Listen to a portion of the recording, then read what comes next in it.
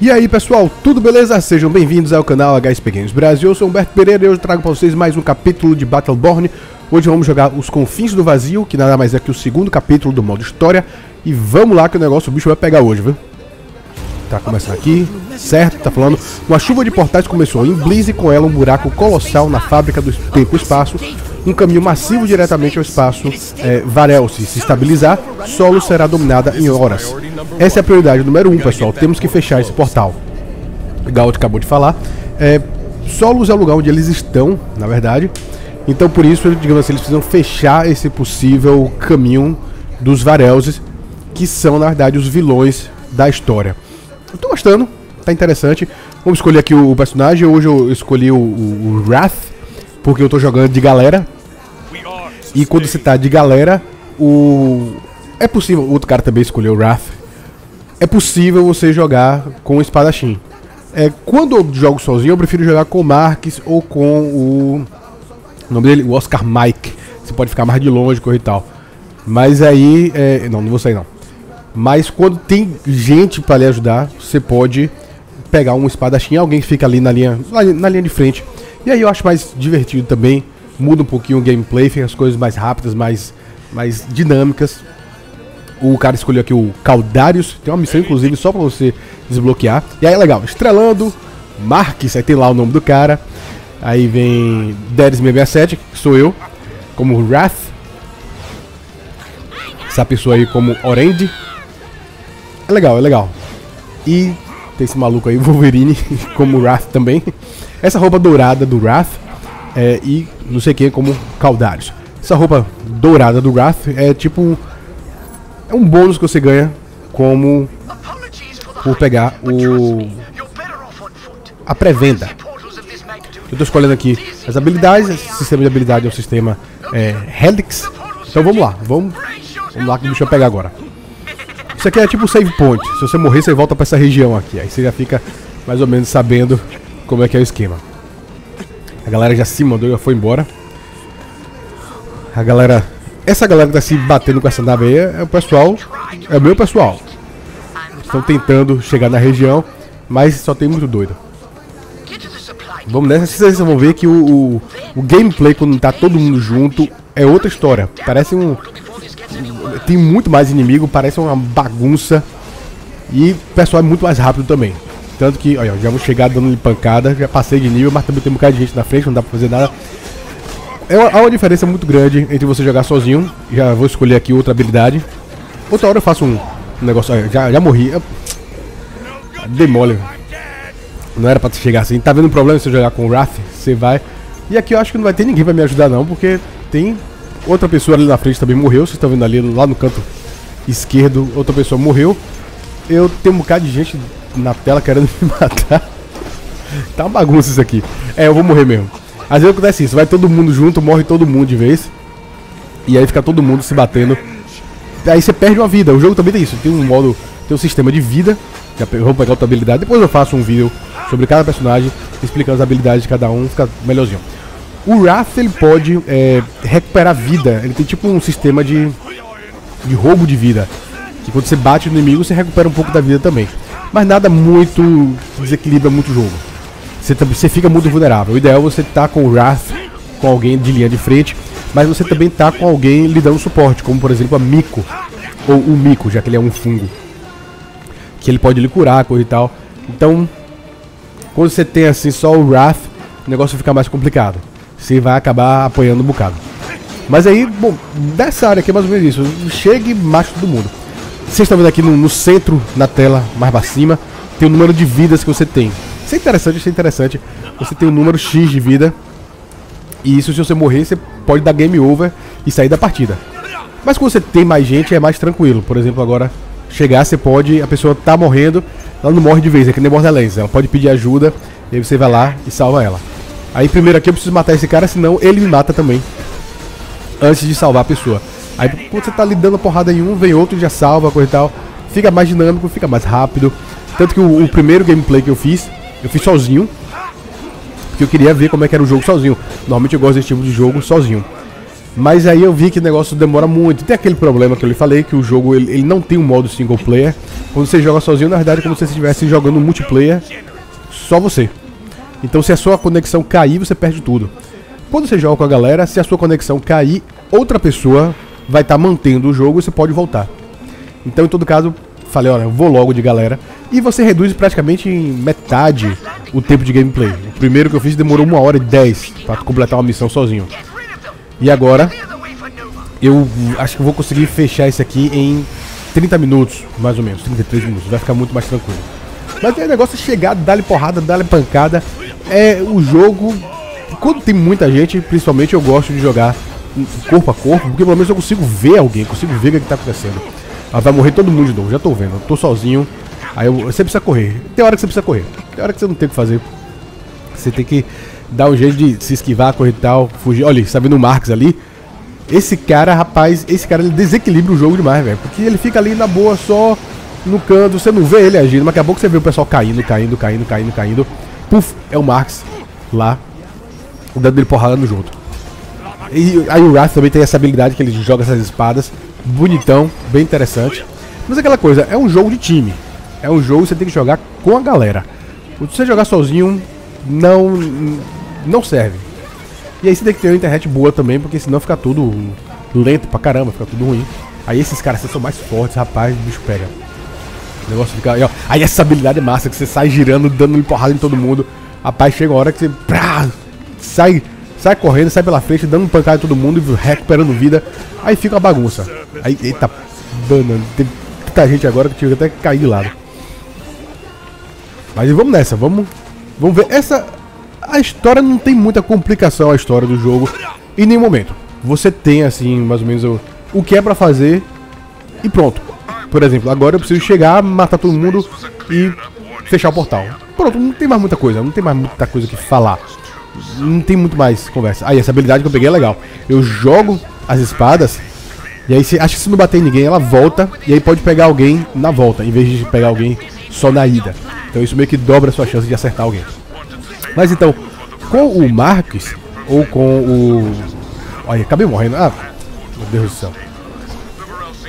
Aí posso chamar ajuda, não sei se alguém vai vir, já que eu tô bem longe. Mas é uma possibilidade. Não, a galera tá chegando aí, ó. Beleza. E foi outro Wrath que me ajudou. Beleza. Pegar mais habilidade aqui.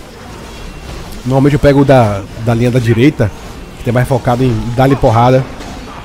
É, é uma coisa bem diferente. Depois eu explico. Agora da confusão não dá pra explicar direito não. Mas assim. Eita, esse cara aqui tá em. Olha, ó. Tá ali um bocado de gente, tá nem aí. Você começa a dar pancada, ó. E os caras não conseguem lhe matar direito porque você tá recuperando vida. Então aí é só alegria, só lhe dar porrada. Só beleza.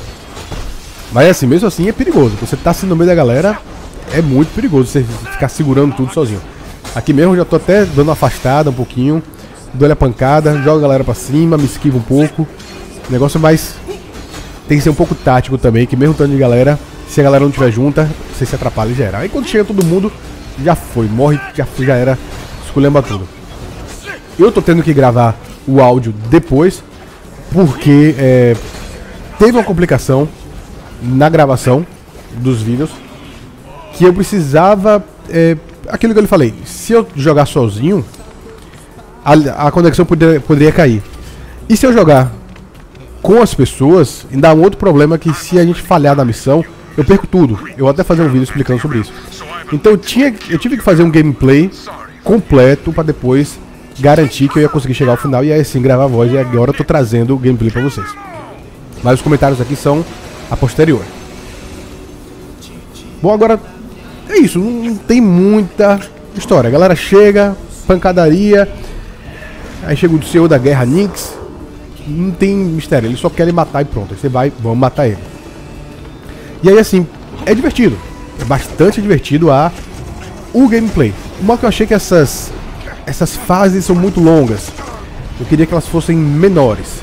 A sensação que eu tenho é que cada fase dessa, na verdade, são duas ou três. Tem mais ou menos, por exemplo, esse ponto aqui que a gente vai matar esse senhor da guerra Nix, que vai sair desse complexo, já era pra ser uma fase. Aí, aí você vê a, a, pancadaria que é todo mundo junto, ó. Pá, pá, pá, pá, pá, pá. Esculhambação é, é muito legal. É muito, muito legal mesmo. É um jogo diferente. Eu não tô querendo comparar ele com. Oh, miserável, pula. Eu não tô querendo comparar ele com Borderlands, que seria um erro. Battleborn é um jogo independente. Mas depois eu vou fazer um vídeo explicando o que, que eu queria em Borderlands. Aí sim, aí eu posso falar, posso fazer a crítica correta. Aí você vê a pancadaria. Imagina se fosse matar esse cara sozinho, ia demorar um tempo. Ia demorar um tempo, um tempo, vocês não fazem ideia. Então ontem eu fiquei mais ou menos assim, gravando os gameplays. E deu muito erro, dava muito problema. Passei praticamente o dia inteiro para conseguir gravar os capítulos que eu vou mostrar pra vocês. Aí agora não, agora só bicho pegar vamos nessa. E aí sim, agora o, o Clice, que ele tá falando que a gente tem que pegar esse robozão e levar ele desse lugar pro outro. Já que ele vai abrir os caminhos, abrir a porta, fazer todo o sistema tecnológico. Aqui eu posso comprar um upgrade para ele, vou comprar, botar um, uma torre para ele dar pancada nos outros também, porque ajuda. Essa é uma coisa aqui no jogo que me, me deixou meio, meio bolado, que é o seguinte, é, os equipamentos. Aí já tá até abrindo aqui o portão, coisa e agora, nossa mãe do céu, tanto de gente que tem aqui. Olha o tanto de gente que tem aqui, mano. Você é louco. Uma pancadaria. Mas é legal, na hora que você sai girando, dando espadada em todo mundo, é muito divertido. E se tiver um, um mico na história, um personagem focado em curar e recuperar sua vida mesmo, mano, nada lhe para. O, o Wrath ele fica absurdamente poderoso. Por isso que no modo multiplayer, quando tem é, uma equipe bem montada, já foi, mano. Esqueça que os caras vão lhe matar é, 100% de certeza. Porque não tem como você vencer. Você tem todo mundo organizado direitinho, cada um fazendo seu papel. Aí já era, vai ficar tudo mais simples. Fica muito mais difícil. Aí vamos nessa, a gente tem que matar essa galera aqui. Tá beleza. Dá-lhe porrada desse aí, essas espadadas. Você vai evoluindo de nível, você vai ficando mais forte. Então chega a hora que os inimigos mais fracos eles caem com uma pancada só. Ele já abriu? Pronto, já abriu aqui. E agora vamos pegar e sair do dessa área. Por exemplo, aqui eu acho que já é outra fase. Já era pra ser outra fase. Já chegou, já teve o chefão, já teve tudo certinho. Pra que você precisa passar meia hora naquilo dali? Pra mim aqui já é outra, outro ambiente, outra história. Já... Eu acho que eles deveriam ter pensado melhor nisso. Acho que 30 minutos, 40 minutos por fase é ruim, até porque se você falhar na missão, você tem que voltar tudo de novo. É uma bagunça, mano. É, eu vou mostrar isso pra vocês em outro vídeo. Mas assim, aqui já muda. Aqui já mudou os inimigos, já são outros inimigos. Já são esses esqueletinhos meio estranhos. Eles são meio engraçados, meio chatos. Cadê eles? Aí a galera fica. Ai, essa porrada do Wrath é legal, que ele, ele dá uma pancada no chão, no chão, o cara sobe. E quando cai, ele fica meio que atordoado assim. Você tá, dá-lhe pancada. Mas aqui, essa missão aqui, acho que não, não vai ter mais complicação. Acho que a galera já começou a pegar o jeito. É todo mundo meio novo nesse jogo ainda. Acho que o meu nível acho que é 3 ou 4. O, a galera também tá por aí também, 6, 7, 8 por aí. Todo mundo da boa ainda. Começando agora. Vamos ver o que, que vai dar isso aqui. Pois é, esse, esses. Esses poderes são meio estranhos. Tem hora que tem uns personagens que ficam. Os inimigos ficam sumindo na tela. Esculhambação. Mas os caras tem os caras que são difíceis de matar. Isso aí mesmo. Ele é meio que um tanque. Meio que um BDS de Borderlands. Mais difícil. Tem que dar. Insistir mais nele e dar-lhe pancada. Cadê o robozão? Tem que proteger o robozão. É, é, é mal isso. Às vezes você perde a missão porque a galera fica focada em matar os inimigos. E daqui a pouco esquece da, da missão principal e já era. Cadê? Vai dar-lhe pancada. Passei nível, beleza. Vou pegar. Esmagamento zeloso. E aqui é uma boa área pra sair. sair girando, dando porrada em todo mundo. É massa. É muito legal. Cadê o robozão? Beleza? Dá-lhe pancada. Você pode pegar também algumas coisas, alguns itens. É, nessas caixas, por exemplo, você pode pegar um pouco de vida, você pode pegar pontuação tipo XP. Mas uma pontuação azul, que é uma pontuação para você evoluir o ranking do personagem. É um negócio diferente. Não é essa evolução dentro da partida. A evolução como um rank seu. Que até agora eu não entendi direito como é que funciona. Mas eu vou descobrir. Não sei se isso faz alguma diferença no gameplay. Talvez acho que destrava algumas coisas, tem algumas coisas assim. Mas então, depois que eu trouxer a parte da história, aí eu vou trazer algumas coisas de multiplayer. E aí, dependendo do que o pessoal quiser, eu faço mais vídeos de Battleborn. Mas eu não sei ainda se vai ser uma série regular com vídeo todo dia como Borderlands. Talvez seja, talvez não seja, vai depender do pessoal, se o pessoal gostar ou não. E aqui, mano, toma-lhe pancada. Você vê que mesmo utilizar a habilidade especial, esse cara é muito forte pra matar ele. É bastante complicado. Mas também acho que a dificuldade tá no modo pra quatro pessoas, né? Quatro? Não, são cinco. São cinco pessoas que você joga. Tá jogando com cinco. Aí sim, aquele negócio ali é um negócio chato, que aquele negócio ali ele invoca inimigos.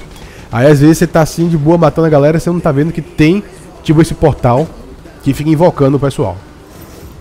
Aí pronto, a galera já foi, já matou todo mundo. Aí, ó, tá vendo? É tipo essa, essa flecha. Isso aí você tem que matar. A primeira coisa que você tem que matar. Porque senão vai ficar chamando o inimigo sem parar. Nossa, um servo bruto. Tome. Caramba, tem alguém ali atrás arrebentando. Deve ser o Marx. Quando você tá assim de bobeira e a galera começa a morrer, pode certeza que é o Marx. Ele tá lá de longe só dando tiro na galera. E aí sim, vou comprar aqui uma torre. E aí é uma coisa que me deixou meio. meio pensativo que é o seguinte. Esse jogo, o sistema de equipamento dele funciona da seguinte forma: equipamentos mais simples, eles estão sempre ativos. Por exemplo, você pega um equipamento que vai lhe dar um bônus pequeno de mais 10% em alguma coisa. Equipamentos muito poderosos você precisa ativar. E você ativa com dinheiro. Só que, digamos assim, você pode usar esse dinheiro para outras coisas, como por exemplo para comprar uma torre de ajuda, como a gente está fazendo aqui, ó. Vocês estão vendo que essa área aqui o bicho vai pegar. E aí você pode comprar, aqui ó, já tem uma torre ali, já tem a torre ali, outra torre do outro lado. E essas torres ajudam muito, mas muito, muito mesmo. Então eu fiquei pensando assim, pô, será que faz mesmo alguma diferença o equipamento no jogo? Se você for bem organizado, você pode simplesmente investir nessas torres e essas torres vão fazer a diferença.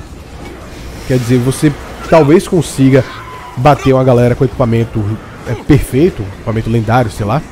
Ah, eu vou morrer, eu vou acabar morrendo. Vou acabar morrendo. Ah não, subir de nível. Aí você suba de, sobe de nível, você recupera a vida instantaneamente. Aí é legal, isso é, isso é bacana. Vou pegar ataque desesperado. Que quando eu perco meu escudo eu causo mais dano. Como eu vou estar sempre sem escudo no meio da galera, é mais difícil, melhor, é mais fácil você ativar essa habilidade, esse bônus extra. Pois é, então assim, Battleborn, todos os personagens eles são feitos para serem equilibrados uns com os outros. Não tem ninguém assim muito mais forte. Cada um é forte é, na sua especialidade.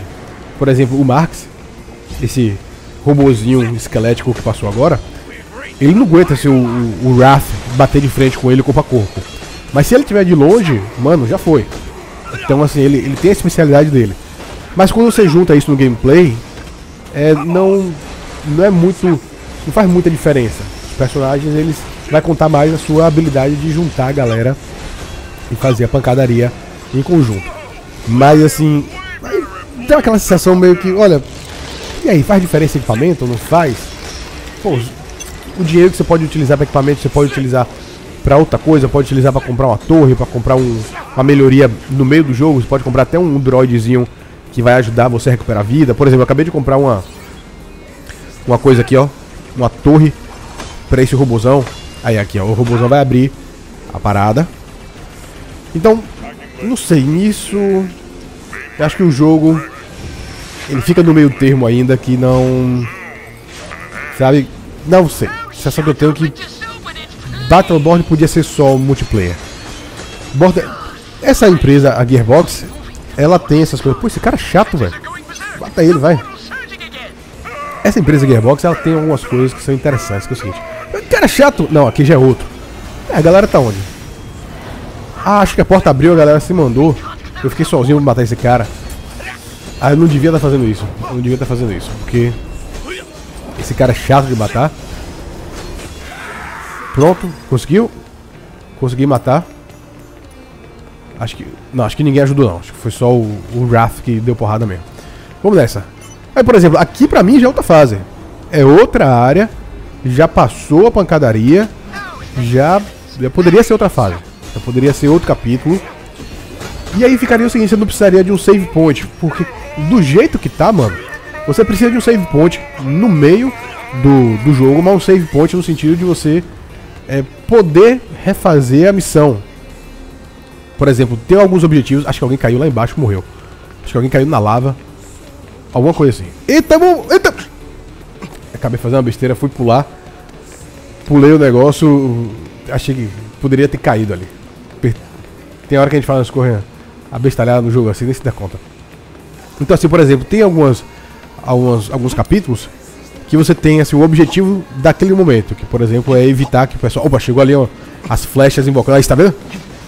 Aí começa a sair bicho pra tudo que é você tem que matar logo. Tem que destruir logo. Opa, cadê? Eu fui matar o cara já foi.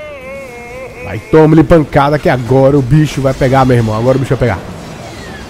E dá-lhe porrada. Dá-lhe porrada, dá-lhe porrada. É, a galera cai pra cima do robozão porque o objetivo deles é matar o robozão.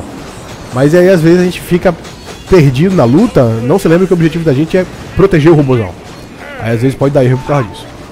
O jogo tem um pouco de sofrimento que é um pouco, digamos assim. Os caras poderiam ter feito um, algumas mudanças para o jogo ficar um pouco mais divertido. Algumas coisas. Uma coisa de dificuldade. Outra coisa é o jogo acaba fazendo alguma besteira. Aí eu vou comprar um. Não, acho que já tá ali o negócio. A torre de, a torre de proteção já tá ali em cima. Eu, eu, posso comprar de novo, mas aí eu, o que eu vou fazer na verdade é gastar dinheiro. Então agora, por exemplo. Ué. Agora eu tento proteger a galera, que senão. Olha.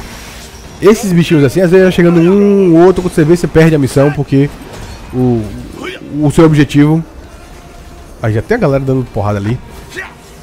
Aí, por exemplo, às vezes você tá lá de bobeira, tem um inimigozinho assim do lado do robozão dando porrada. E aí já era. Aí você perde a missão por causa de besteira. Mas então. Cadê? Caramba, tem um bocado de gente morrendo aqui, por quê, mano? Ah, esse cara aqui é forte, ó. Então, dá-lhe porrada nele e tome-lhe pancada, meu irmão. Tome-lhe pancada. Esse, tipo essa... Essa área, essa arena que foi criada ali, ela foi criada pelo Marques. E ali deixa a galera, os inimigos mais lentos. Aí é legal que você entra, quando começa a combinar as forças, o negócio fica apelativo pra caramba. Então aqui o grupo tinha que se dividir. Aí ficava uma galera no lado e outra galera ia resolver o negócio. É isso mesmo? É isso mesmo. Aí, ó. Alguém comprou um negócio de proteção pro robôzão, porque ele já tinha perdido, acho que o negócio do da, da torre. Ó o Caldário chegando aí, beleza. Aqui eu fiquei meio perdido porque eu sei que tem que chegar uma hora quando tem esse... Ave Maria, tem que voltar aqui, senão... Senão já era. Tem que proteger... Olha, o robôzão já tá com life pequeno. Tem que proteger, tem que ficar a galera protegendo aqui. Senão, meu irmão, já era. Tem algum inimigo ali. Ali, o Caldaris está indo atrás dele. Ah, ali, feliz. Cadê? É, Toma-lhe porrada, meu irmão. Cadê o cara? Ah, o Caldaris está arrebentando. Eu tô me, me atrapalhando um pouco aqui. O Clis tá falando, tá incursões Varelse. Tá certo, para o garotão ali em cima. Eles estão ficando bem. Tá, esse cara, canalizador Varelse. Acho que esse cara invoca. É tipo invocador. Aí tem que matar ele. Pronto, agora vai ficar beleza. Certo? A galera foi lá e abriu essa barreira. Abriu a porta. E agora o bicho vai pegar. Agora a vai pra parte que é. Eu acho que. Ah, sim, agora é a luta Luta final. Pô, eu fiz um vídeo sozinho jogando com o Marx. Eu tinha uma, uma hora de gameplay. E aí bem aqui minha conexão caiu, eu perdi o negócio aqui, meu. Pô, que, que dor no coração, que sofrimento. Mas beleza, agora eu vou invocar um drone de ataque para ajudar um pouquinho a pancadaria. Mas acho que você pode. Você só pode invocar um drone de cada vez, então não, não adianta. Aí galera vai lá na região e assim, enquanto esses negócios amarelos, ele é tipo você ativar o, o checkpoint, ativar o negócio da missão. Aí tem que ficar todo mundo na sua posição. Olha. O, Raf tá, tá descendo na tela. Beleza, pronto, só faltou a Orange, a Orange chegou. E agora vai começar o bicho a pegar. Pronto, chegou. Senhor da Guerra, o conserto. Conserto. Custódio Varels. Ah, agora o bicho vai pegar. Mas esses caras ficam voando. Pra eu dar porrada é meio complicado. Aí por isso que eu tinha escolhido o Marx. O Marx de longe, ele fica dando porrada e já era. Mas também agora ele tá... Ah, a Orange roubou o negócio. Esse negócio que você pega é tipo um escudo extra. Acima do escudo que você já tem. A Orange chegou e roubou. Aí como é que eu vou dar porrada nesse cara? Aí você não... Eu também não tô nem vendo o que tá acontecendo mais. E aí fica meio complicado, o cara fica meio voando. Ah, não, acho que agora tá. Acho que agora eu tô batendo nele. Ou não, não sei, tá meio estranho isso. Entendeu? É meio complicado. Pronto, agora ele fica, fica invencível. Tem essas coisas chatas de. Aí você tem que tirar o escudo dele, tá? Essa galera. Tem umas coisas de, de dinâmica, de, de luta de Borderlands meio chato. Aqueles chefes por fase, que possuem várias fases. Você mata ele, você tira um pouco de life, ele fica invencível, e aí volta a galera. Aí você tem que fazer um bocado de coisa a mais, e depois... Essa bolha preta. Se pegar em você, você toma dano. Olha, eu tô tomando dano. Você tem que sair de perto aqui, ó. Tem que sair de perto, senão você toma dano. E se você ficar dentro dela, é capaz de você morrer. Então você tem que esperar ela expandir e depois ela regredir. Olha, você tem que correr. Acho que vai ter gente que vai morrer por causa disso. Já tem um ali pedindo ajuda. Aí o Marx já se intocou ali, miserável. Pronto, mas agora também o escudo dele caiu. A gente tem que voltar. Salvar a galera. E aí depois atacar o inimigo. Pronto, salvo. A galera já salvou ali, beleza. A Orange, a Orange sempre pega os escudos, velho. Pô, que chatice eu levo. Pronto, aí agora o bicho vai pegar e fica esperto que esse negócio causa um dano danado. Pronto, agora é pra cima. E dá-lhe porrada, mas... Eu... Aí, acho que agora tá pegando. Agora tá pegando, isso. Acho que agora eu tô conseguindo causar dano nele. Vamos nessa, dá-lhe porrada, dá-lhe porrada. Só alegria. Esse, essas espadas voadoras que ele joga é massa. E agora... O que, que aconteceu, rapaz? O que é isso aqui? Ué, Vazio Varelse. É tipo uma, uma, dimensão paralela que ele leva você, que ele puxa você. Beleza, agora o esquema é só matar todo mundo, eu vou morrer. Tem muito inimigo aqui. Olha o tanto de inimigo que tem. Tem a galera em cima de você. Eu vou acabar morrendo aqui também. Eu preciso achar o pessoal pra salvar o pessoal também, porque senão fica mais difícil. Vai salvar revivendo. Pronto, consegui salvar? Reviveu, foi, foi. E agora não sei mais o que tá acontecendo. Pronto, salva aí galera. Salva, morri também. morri também. Será que galera tem videogame salvar? Acho que todo mundo morreu aqui, velho. Acho que todo mundo morreu. Não, ó. Tem gente ajudando, a galera tá, tá salvando aqui, beleza. Agora tem, tem que salvar os outros também. Pronto, quando eu faço isso aí eu consigo segurar um pouco aqui o, o esquema. Porque eu recupero o vida enquanto eu bato na galera. Apanhei de novo. Apanhei de novo. Aí vai ter gente me salvando de novo. Aí tá vendo porque é bom você jogar de galera? Quando o bicho pega, você vai lá. Opa, voltou, voltou. Quando o bicho pega, você vai lá e a galera consegue lhe ajudar. Mas agora, pancada vai comer solta, meu irmão. Vamos voltar aqui pra sair na mão com esse chefão que o bicho vai pegar. Cadê, irmão? Bora, bora, vamos que vamos. E vamos que vamos. Vamos que vamos. Chamar um dronezinho aqui. Tem hora que você fica com mais dinheiro que você precisa. Aí é. Você precisa até ver no que, que você vai gastar. Pô, a galera tá apanhando legal aqui. Deixa eu ver se eu consigo reviver esse cara aqui. Mas eu revivo ele. Eu revivo ele e tô mudando. Aí você precisa salvar a galera. Dá, não deu tempo, morreu. É, agora eu vou morrer também. Acho que não vai ter ninguém me ajudar agora não. Olha, ainda tem duas vidas. Eita, eu acho que essas vidas elas são consumidas pelo grupo inteiro, é isso mesmo? Que tinha duas vidas ali. Acabou caindo pra zero agora. Eu vou morrer assim. Caramba! Ah, quando tava faltando um segundo, a, a Orange chegou e me salvou. Beleza, olha aí, tá vendo? Zero vidas, acho que a vida ela é da equipe, mano.